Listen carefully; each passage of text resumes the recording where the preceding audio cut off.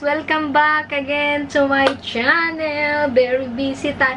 Alam mo, gustong gusto ko yung kantang Stuck on You. Kaso baka makopyright tayo. So, yan. So, today, guys, uh, ang i-vlog ko naman sa inyo ay concealer ng L'Oreal Paris. So, yan. So, dahil nga madalas na yung aking pagpupuyat sa pag-edit ng vlog. So, today, ah... Uh, tatakluban natin yung mga eye bags na yan nitong L'Oreal Paris. So, yan guys, naglip tint lang ako. So, yan. So, today I'm going to review this Infallible Full Wear.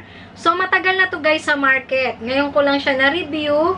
Uh, huli month daw magaling. Naihahabol din. ah, huli month daw may hahabol pa natin guys. So, today I'm going to review sa inyo itong L'Oreal Paris yun guys, so i-review ko sa inyo itong Infallible. So, titingnan natin. Kasi hindi naman itong tart yung favorite kong, hindi ito yung Holy Grail ko na concealer, itong tart. Sasabihin ko sa inyo kung ba't hindi itong Holy Grail ko.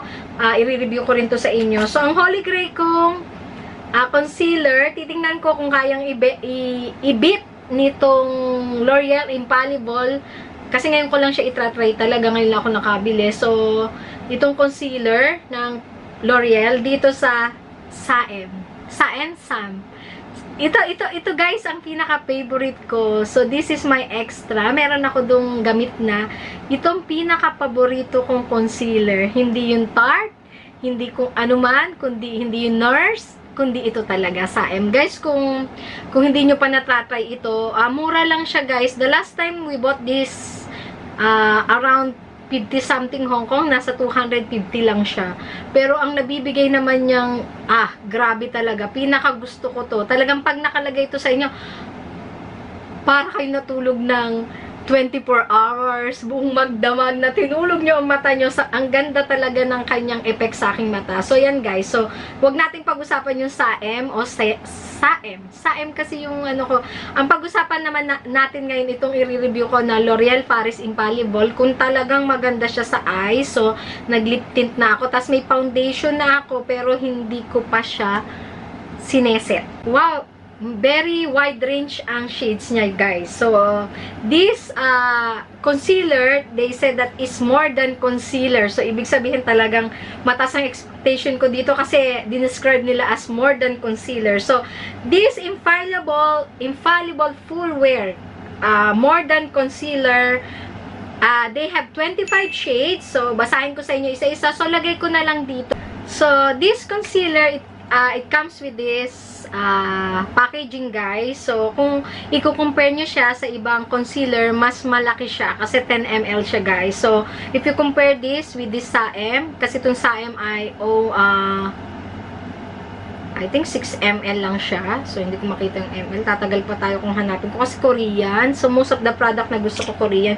So, it almost the same ng Tarte. Kung i-compare nyo guys, almost the size ng Tarte. Pero, Tarte, Tarte tape. Yan. So, this is the Tarte tape. So, this is the Infallible. So, ano nga bang kine-claim nitong uh, L'Oreal Infallible? Infallible.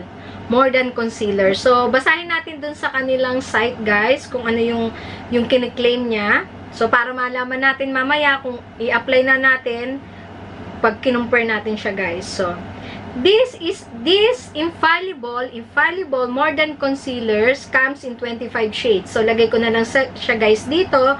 So you can find the perfect one to brighten, to brighten daw, to correct, to contour, and to highlight the face.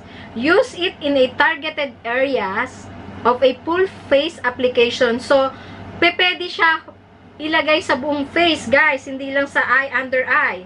So, with a jumbo do-put applica applicator, so may jumbo do-put applicator siya, this is more than just a concealer. So, ating i-highlight yung more than just a concealer. With a high pigment elastic formula, giving you the ultimate full coverage. So, binibigay niya full coverage, guys, ha? Full coverage finish. With a tota-, totally weightless feel. So, hindi mo daw mafe-feel. Kasi, may iba talaga na concealer na pag nilagay nyo siya sa under eye, parang ang bigat. Tapos, ang problema pa, minsan nagkri-crease pa siya. So, this ultra long wear formulas and detect bold finish that doesn't crease. Wow, hindi daw siya nagki-crease or settle into fine lines. Yan yung problema. Yan yung mga problema ng mga ibang concealer kaya ayoko. Minsan kasi nagki-crease na siya, nagsisettle pa siya sa fine lines. Eh, alam nyo guys, pag tayo na age na, dito nagsisimula yung wrinkle. So, kung yung concealer na makukuha nyo hindi ganun kaganda, talaga mag, mag ah, ano yung magsiset yun dun sa fine lines. So, habang tumatagba, mahabang, lalong na-emphasize yung wrinkles nyo dun sa under eye area nyo. So, tingnan nga natin kung talaga yung kine-claim nila ay ganon kagaling. So, yung review, mas marami yung 5 star dito. So, let's try this product. Let's try this concealer. More than concealer, sabi nga nila. So, yan guys. Uh, yung packaging niya guys. Pag-usapan muna natin yung packaging niya. So, it comes with this packaging. So, okay naman siya. Ah, uh, Ah, okay naman siya. Pwede mo siyang i-hang carry. Pwede mo siyang ilagay dun sa pouch nyo. So, o-open ko na siya. So, biscuit, biscuit, biscuit. Ang aking nakuha, 3 o 4 na shade. So, tingnan natin kung uh, ka-shades ko siya. Or okay lang naman yung kasi talaga pag concealer kailangan uh, mas maputi siya sa inyo. So, yan. So, open ko na siya. Bago siya guys, katratry ko lang ngayon sa inyo. Sa harap ninyo ko 3.9.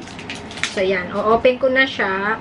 So, sinabi naman dun sa ano na meron siyang duplo, uh, big dupot applicator. So, tingnan natin. So, open ko na siya, guys. Oh, big nga siya. So, guys, yan, big nga siya. Kung i-compare siya sa ibang applicator na dupot, maliit. So, lagay na natin siya, guys. So, it comes with this dupot applicator nga. So, maglagay na tayo, guys, sa ating mga dapat i-conceal. Yung mga sumpa na dapat nating i-conceal. So, maglalagay lang ako sa eyes. So, kung maglagay ako, guys, ganito lang, ha. Ayan.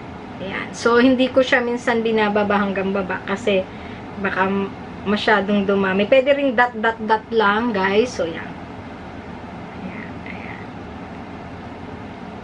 Ayan. Dito rin sa ilong. Tapos, dito sa mga yan. Tsaka dito. Kasi tayo mga Pilipina, always meron dito sa side na nagre-redness siya minsan, 'di ba, guys? So, 'yan tapos dito para ma-highlight yung part na ito, guys. So, yan, nalagyan ko na siya, guys. So, dapat nga daw dito pa-triangle, pero most of the time, ganito lang ako maglagay, body, uh, ini-spread ko na lang siya para naman hindi sayang yung, yung product. Pero okay lang, kasi ayoko din naman nung sobrang. Yan, guys. So, i-blend ko lang siya, guys, with this sponge.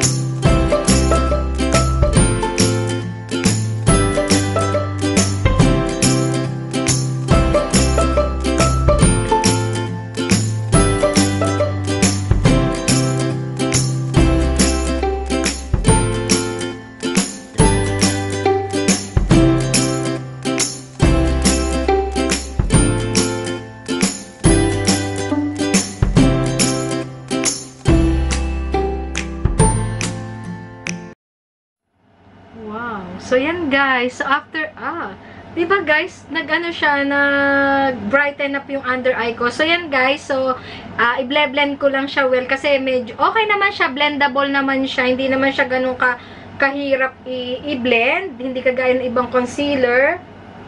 Yan. Okay naman siya guys. Hindi siya ganun kahirap i-blend. Kaso kailangan ko lang ng hindi siya mahirap i-blend. Hindi nga siya nag-crease. Maganda siya sa face. So, yan.